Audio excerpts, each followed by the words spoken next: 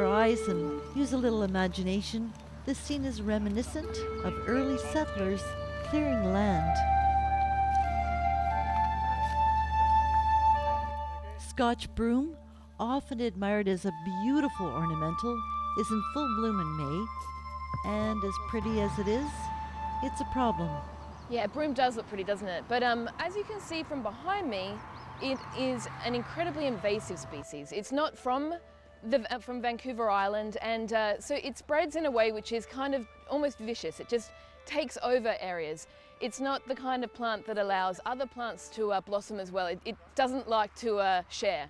It's competitive and it wants to win, and um, so basically it takes over entire areas and forms monocultures, which is exactly what we don't want if we want to have a diverse um, ecological environment for animals and plants.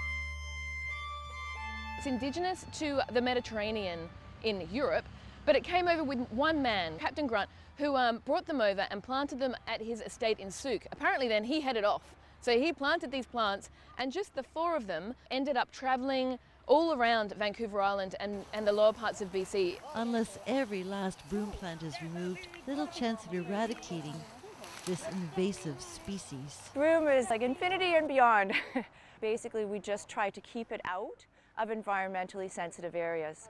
That's what's most important to Greenways Land Trust. And one of the upsides of broom bashing is it pulls the community together for a common purpose.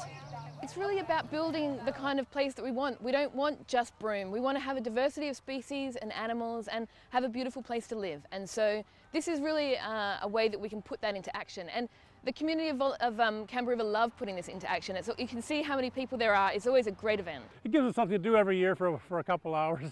We get together, I guess. This is a wildly invasive product, and uh, unless we all get together, uh, it's going to take over some of the natural habitat. And uh, this is one of the most beautiful areas in the world. We want it back the way it's supposed to be. Hard to believe four little broom seeds from the old country could leave such a mark on the new country. In Campbell River, I'm Marjorie Greaves.